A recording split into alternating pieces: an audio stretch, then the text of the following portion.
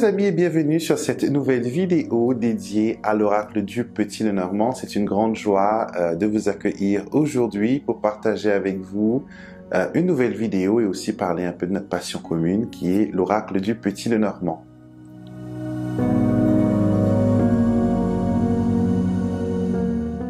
J'espère que vous avez passé une excellente semaine et on va tout de suite se tourner vers la table de voyance pour voir un peu ce que cette nouvelle semaine a en réserve pour nous et voir un peu euh, qu'est-ce que les cartes ont comme guidance pour nous.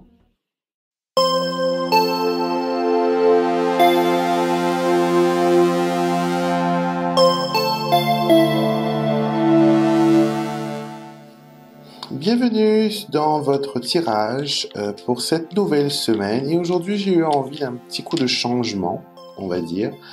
Euh, je vais faire votre tirage avec le tarot, comme je le fais bien sûr chaque semaine. D'accord Je vais répondre à une question précise avec le petit normand néophyte. Et à la place de vous faire un, tirage de trois cartes pour cette semaine, je vais vous lancer les dés et voir un peu ce que les dés ont à vous dire. Et euh, on verra bien, surprise, surprise. Donc, dès maintenant, avant que je commence à mélanger les cartes, vous allez penser à un chiffre 1, 2 ou 3. Et le premier chiffre qui vous interpelle sera celui lié à votre tirage.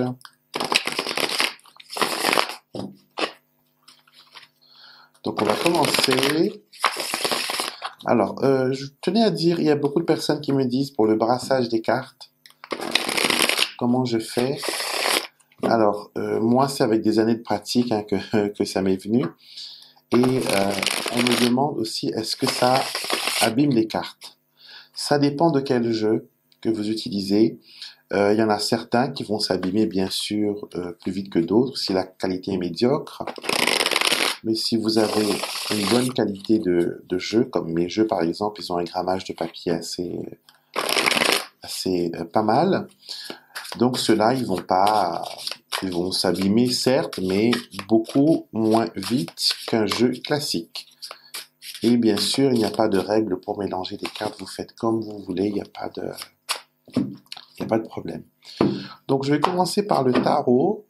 On va étaler le jeu cette semaine. On va faire différemment, tiens. Pour la réponse du oui et du non.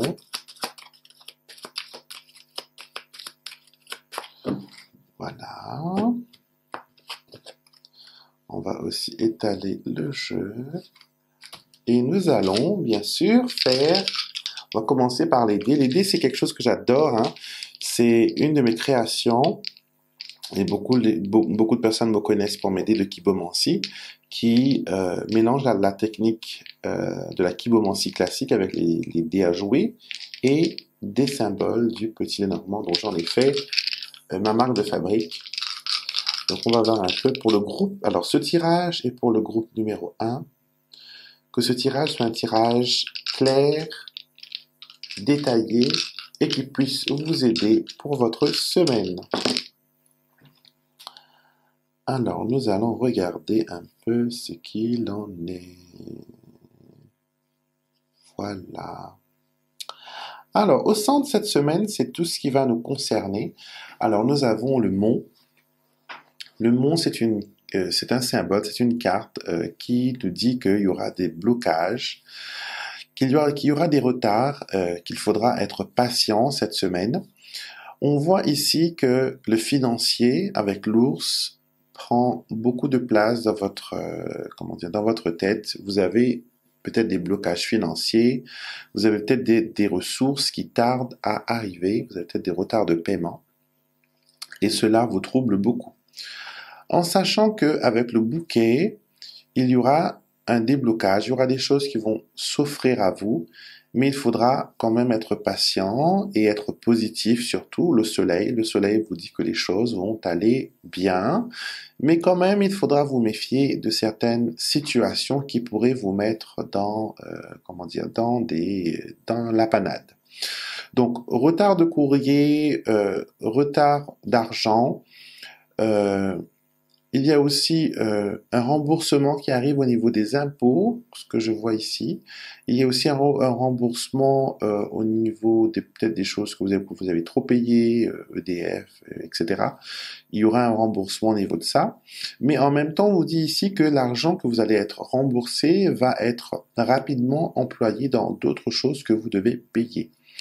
Le serpent ici, c'est une un symbole qui vous dit attention quand même, faites gaffe, ne soyez pas léger dans tout ce qui est décision financière, dans tout ce qui est gestion d'argent pour vous cette semaine. Pour la réponse du oui et du non, nous prenons une carte et nous retrouvons sans grande surprise notre ami ours. Toujours les finances. Alors notre ami ours nous dit que on ne sait pas trop si la réponse est oui et non. Elle est neutre cette carte et je pense que c'est avec votre force d'esprit, votre détermination que vous pourrez changer cette situation et ramener du oui dans votre tirage. Alors, on va prendre une autre carte pour le conseil de la semaine. Nous avons le 5 d'épée. Le 5 d'épée, c'est aussi une carte qui nous dit qu'il y aura plein de choses à faire. Peut-être que vous n'aurez pas assez de bras, assez de mains, assez de pieds pour vous aider à gérer tout ce qui vous entoure. Donc, soyez quand même, euh, comment dire, organisés et soyez aussi concentrés. Concentrez-vous sur les tâches que vous avez à faire et mettez vos priorités en avant pour avoir le meilleur de cette semaine. Donc, nous allons maintenant nous attaquer au groupe numéro 2. Si vous avez choisi le groupe numéro 2, j'en ai un qui est tombé en dehors. On va relancer. Voilà, donc ça, ça, et ça, et ça. Alors, de l'anxiété pour vous, mesdames, cette semaine? J'ai l'impression que vous venez de faire une rencontre ou vous avez envie de faire une rencontre amoureuse, mais que euh, il y a ce côté euh, de l'inconnu qui vous fait peur. Vous avez peur de vous lancer et vous avez peur de dire oui. Donc c'est à vous de choisir hein, si vous voulez, euh, comment dire, rencontrer quelqu'un, si vous voulez euh, rencontrer l'amour. C'est sûr que c'est pas en restant chez vous que ça va se faire. Il faut vous ouvrir, il faut vous décoincer un petit peu et, et, de ne plus avoir peur de, comment dire, euh, de ce qui va arriver. Vous avez les cartes, vous avez les tirages, vous avez tout ça pour vous aider, pour vous guider dans ces, euh, dans ces petites choses. Alors cette semaine, euh, vous êtes le serpent, vous êtes le serpent cette semaine, vous êtes maligne, vous êtes stratégique, vous savez où il faut aller, ce qu'il faut faire, et regardez, vous faites face aux souris, et le serpent va manger la souris. Donc tout ce qui est ennui, tout ce qui vous ennuie, tout ce qui est qui vient vous, comment dire, vous, vous, vous, agacer, vous prendre la tête, sachez que vous arriverez avec talent et avec aisance à vous en débarrasser. Certaines personnes vous trouveront peut-être agressives, trop directes, trop ouvertes, mais vous allez pouvoir, comment dire, mettre de l'ordre autour de vous, surtout, euh, comment dire, euh, fermer le clapet de ces personnes qui ne savent pas qui vous êtes, qui vous jugent d'après votre image. Donc, vous allez pouvoir mettre de l'ordre euh, cette semaine pour vous. La lune aussi sort dans votre jeu, ce qui veut dire que il y a vous êtes propulsé en avant, vous êtes reconnu pour ce que vous êtes, pour ce que vous faites. Et euh, ça va être bien si vous utilisez les énergies d'une façon euh, intelligente. D'accord? Donc pour le oui et le non, nous avons l'arbre, encore une carte neutre. Donc je pense que il, vous faut du temps. Dans la réponse que vous attendez pour le oui et le non, il vous faut du temps. Les choses ne vont pas arriver du jour au lendemain, donc il faut de la patience. Le conseil du tarot nous avons le 7 de denier. C'est un peu la carte des récoltes, c'est un peu la carte, euh, comment dire, euh, ce qu'on a fait auparavant, on arrive à le récolter. Donc, euh, cette carte vous dit que cette semaine, il y aura quand même des choses qui vont pouvoir euh, réussir et que vous pourrez récolter un peu ce que vous avez semé dans le bon sens du terme, bien sûr, et que vous pourrez aussi euh, faire des projets, vous pourrez bâtir de nouveau, partir à zéro et aussi profiter des efforts et de tout ce que vous avez fait jusqu'à maintenant et ça va être fabuleux et vous allez avoir le sourire aux lèvres toute cette semaine, n'est-ce pas magique? Alors, choix numéro 3. Choix numéro 3 pour ceux qui ont choisi le numéro 3. Alors, voyons voir comment ça s'installe. Voilà. Alors, le livre est tombé tout à l'heure, mais je l'ai remis et, il revient encore. Donc cette semaine, c'est une semaine où il faudra vous concentrer sur vos priorités, vous aussi. Il y a des choses que vous avez laissées de côté, que vous n'avez pas, euh, vous avez préféré avec le jardin faire autre chose. Mais là, il faut se mettre au travail avec le renard et le livre. Euh, beaucoup d'énergie, vous êtes très énergique cette semaine, vous pourrez, comment dire, euh, briser les murs, vous pourrez euh, rebâtir Rome, vous, vous aurez une énergie extraordinaire, puissante, euh, créatrice, donc utilisez cette énergie pour faire les choses que, qui vous prennent du temps, qui vous prennent de l'énergie. Euh, vous serez très communicative cette semaine. Votre énergie sera très communicative. Vous allez inspirer beaucoup de personnes, même si vous ne sentez pas que vous êtes une inspiration ou, ou un exemple à suivre il y aura des choses qui vont être bien. Au niveau professionnel, il y a des contrats, il y a de la réussite, euh, il y a aussi euh, intégrer une nouvelle communauté. Spirituellement, vous vous comment dire, vous vous étoffez, vous apprenez beaucoup plus de choses, vous tentez beaucoup plus de choses. Votre euh, comment dire, votre façon de penser, votre mental s'élargit et c'est vraiment vraiment positif pour vous. Pour le oui et le non, nous avons l'encre qui est une réponse oui, c'est une réponse qui est positive. Donc, un oui pour votre question. Et le conseil du tarot, nous avons le valet de denier. Alors le valet de, denier, c'est le plus jeune de, dans la famille des deniers, denier qui est relié à l'argent, aux transactions. Donc euh, cette semaine, vous, aurez cette énergie nouvelle, cette énergie de comment dire d'envie de montrer, de démontrer que vous êtes capable de faire des choses, et vous allez pouvoir partager euh, cette euh, cette euh, cette énergie avec les autres. si vous êtes un amoureux des animaux, cette semaine vous apportera beaucoup d'amour avec vos animaux de compagnie, avec vos petits chéris.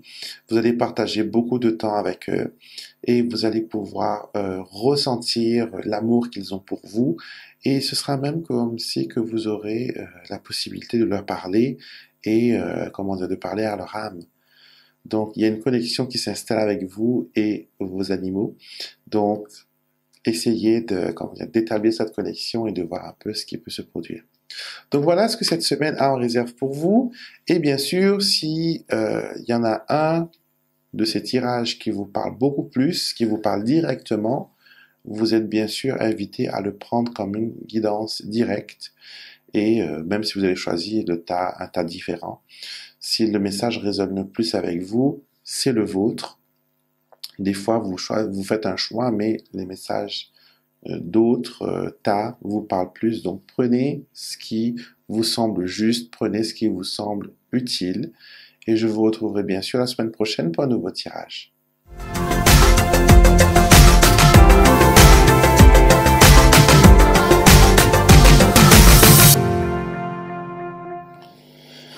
Alors aujourd'hui c'est plus une discussion qu'un cours parce que je trouve qu'il y a quand même pas mal de de questions que vous vous posez et je suis là vraiment pour essayer de répondre au maximum et au plus précisément possible à ces questions.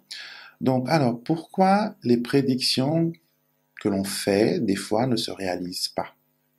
Et je sais que c'est quelque chose qui peut frustrer ceux qui débutent. J'ai des étudiants qui me disent, oui, euh, j'ai prédit des choses, mais jusqu'à maintenant, ça n'arrive pas. Alors, quand on prédit quelque chose et que ça n'arrive pas, comme on l'a vu, ça ne veut pas dire qu'on est un mauvais voyant, ça ne veut pas dire qu'on est un charlatan ou euh, qu'on a menti. Il y a des, comment dire, des cas de figure où une prédiction peut changer, où une prédiction peut, euh, peut ne pas être ce qu'on a vu euh, à ce moment-là. Alors, je vous explique le, le principe. Le principe de faire une prédiction, c'est, ou de faire une voyance, c'est ce que l'on voit à ce moment précis, à ce moment H. D'accord? Avec les éléments qu'on a sur la table, les éléments qui sont connus maintenant. C'est comme une, probabilité, on va dire, mais une probabilité qui est beaucoup plus euh, visuelle, qui est beaucoup plus précise. Et avec ces informations qu'on a, on fait le tirage, on fait. Et il suffit que, par exemple, un détail soit omis, changé, modifié, non mentionné, pour que toute la prédiction parte euh, en vrille, on va dire. Il y a, c'est pour ça que souvent des fois, quand les gens viennent me voir en consultation, je n'aime pas trop savoir leurs questions d'office. Je préfère faire le tirage et voir d'après moi ce que je vois. Parce que la personne, des fois, elle va me dire des choses et peut-être que la personne, elle n'est pas objective ou elle me donne des informations d'après son point de vue à elle. Et ça ne veut pas dire que son point de vue à elle, c'est la vérité et que c'est euh, ce qu'il faut, euh, ce qui est réel dans cette situation. Je dis par exemple, j'ai une personne qui une fois m'a posé la question, je crois que j'en ai parlé dans un de mes livres, où elle me demande euh, est-ce que il y aura une histoire d'amour entre moi et euh, telle personne? Et elle me dit voilà, elle est amoureuse, elle veut savoir si cet amour va euh, va euh, aboutir. Et moi, je fais le tirage et je vois qu'il y a quelque chose qui cloche, il y a quelque chose qui tourne pas rond. Moi, j'ai l'impression que cet homme n'est pas, ne la voit même pas. Et c'est après, en discutant, que, que je me rends compte qu'elle n'a jamais parlé à ce monsieur. L'amour et la fantaisie et le ressenti qu'elle ressent, c'est que tout simplement un jour ce monsieur a été gentil. Je crois qu'il y avait eu des, euh, cette personne a pris sa défense en public et du coup, elle est tombée sous le coup de foudre et elle pensait que c'était réciproque alors que ce monsieur, voyez, n'a fait qu'un geste euh, civique. Et elle, elle a pris ça pour de l'amour et elle s'est attachée à lui. Elle pensait même que, voilà, que c'était un amour secret, qu'il y avait de la passion et tout. Donc, si on part sur une base de là, et qu'on fait une prédiction, peut-être qu'on pourrait dire oui ou non, et que voilà. Et que on pourrait encourager certaines personnes à attendre des choses qui n'existent pas. Donc c'est pour ça que il faut être très attentif quand vous faites des tirages, de bien vérifier le contexte, bien vérifier votre question, euh, vos impressions de votre consultant, parce que tout ça, ce sera des éléments qui vont contribuer à ce que ce tirage soit euh, soit euh, correct et clair. Par exemple, si on vous ment délibérément pour vous tester, vous allez partir sur la base de ce mensonge. Et si vous n'êtes pas, comment dire, pratiquant depuis un bout de temps, euh, vous ne pourrez pas déceler ce, cette tricherie. Il y a des personnes qui, qui le font. Moi, ça m'est déjà arrivé où une personne me ment pour me tester, pour voir la véracité de mes dires. Et j'ai pu comprendre que c'était un test plus qu'un euh, autre chose. Et il faut savoir que moi, quand j'ai commencé, j'avais 13 ans et euh, j'étais un enfant qui était face aux adultes. Donc, j'ai subi plusieurs tests, scénarios. Euh, c'est tout à fait normal, je les comprends. Euh, maintenant, à l'époque, pas trop, parce que moi, je suis un enfant. Quel, comment dire, quel intérêt, quelle vérité on va attribuer à un enfant donc, euh, soyez très, très attentifs aux détails à ce que les personnes vous disent. Et bien sûr, faire très attention aux cartes, voir les placements du lys et tout ça pour voir l'honnêteté et l'intégrité des gens qui sont dans le tirage. Et aussi, pourquoi euh, une prédiction peut être euh, différente de ce qu'on a vu, c'est qu'il y a eu un élément extérieur qui a fait effet papillon. Comme par exemple, on prend l'exemple d'un tirage. Vous faites un tirage pour quelqu'un et vous lui annoncez que euh, il y aura séparation dans son couple. qu'il y aura une séparation et que voilà, l'histoire se termine là. Et finalement, la personne se rend compte qu'il y a des choses qu'il faut changer dans son couple et cette personne décide de sauver son couple. Donc elle prend une décision, elle prend des actions et cela va changer bien sûr tout le comment dire le contexte, toutes les prédictions que vous avez fait. Autre chose majeure qui peut comment dire euh, vous perturber ou changer une prédiction, c'est quand quelque chose vous arrive par exemple, vous apprenez qu'une personne proche de vous est malade et que ça vous bouleverse et que vous approchez les cartes avec ce bouleversement.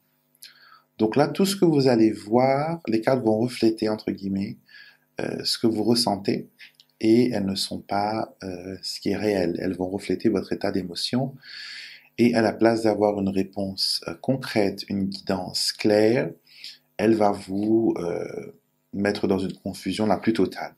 Donc c'est pour ça que je dis que quand quelque chose vous arrive, que vous êtes perturbé, n'approchez pas les cartes tout de suite. Faites autre chose. voyez, priez, allez prendre un bain, méditez, euh, sortez dehors, laissez évacuer, laissez du temps à votre cerveau de, de traiter l'information. Et après cela, quand vous vous sentirez un peu moins tourmenté par euh, cette situation, là vous pourrez prendre vos cartes et voir un peu ce qu'il en est. Donc voilà euh, ce que je voulais partager avec vous aujourd'hui. Et euh, il ne faut surtout pas vous décourager si par exemple vous avez prédit quelque chose et que euh, ça n'arrive pas. Il ne faut pas non plus, c'est pour ça que je conseille aux personnes qui, qui commencent, qui sont novices, ne tirez pas les cartes à vos amis, à la famille. Ne le faites pas, même si beaucoup de personnes vous disent oui, les gens proches sont les meilleurs cobayes. Moi, je vous dis qu'ils sont euh, les moins euh, les moins bien pour vous, parce que pourquoi? D'une part, vous les connaissez très bien. D'une. De deux, vous connaissez leur vie, donc il n'y a pas vraiment de secret à déceler. Et quand vous direz vos prédictions, quand vous direz les choses, elles ne seront pas prises au sérieux parce que la personne va se dire en face, ben, elle me connaît déjà, elle connaît ma situation, est-ce que c'est vrai, est-ce que c'est une manipulation? Donc, vous voyez, et dans certains cas, ça peut aussi abîmer euh, des relations. Je l'ai déjà vu chez certaines personnes. Donc, les meilleurs cobayes restent les étrangers. Faites des tirages pour des, étrangers, aux amis de vos amis que vous ne connaissez pas. Et quand vous serez beaucoup plus euh, confiant dans votre pratique et que voilà, et que vous avez une certaine aisance, là vous pourrez bien sûr accueillir les amis. Mais ne le faites pas au début parce que si les prédictions tournent mal, les amitiés aussi vont tourner mal. Donc pratiquez le plus possible. Vous avez des groupes fabuleux sur Facebook. Euh, il, y en, a deux qui me viennent à l'esprit, euh, mais j'en fais partie de plusieurs. Vous avez le Petit Le Normand, Petit Le Normand français, qui est un, groupe formidable, pratique, qui vous aide à, découvrir et à, comment dire, et à approfondir vos connaissances du Petit Le Normand. Les administrateurs sont top. C'est un endroit où on est respectueux de l'un des autres. Et c'est bien. Et vous avez aussi le Petit Le Normand. Donc c'est petit. Et le le du Le Normand, il est euh, détaché. Donc petit le et plus loin normand. Et là-bas aussi, vous verrez qu'il y a des gens qui sont formidables et ce sont des personnes avec qui vous pourrez pratiquer, vous pourrez échanger vos, euh, vos tirages, vous pourrez aussi voir un peu ce qu'ils euh, ce qu'ils en pensent et vraiment approfondir votre votre votre apprentissage. Donc ne vous découragez pas si au début euh, vos prédictions ne tombent pas justes, ça viendra avec de la pratique. N'oubliez pas que votre intuition, c'est un muscle. Et comme tout muscle, le plus que vous le travaillez, le plus que vous le manipulez, le plus souple il devient et le plus facile euh, il devient à, à gérer.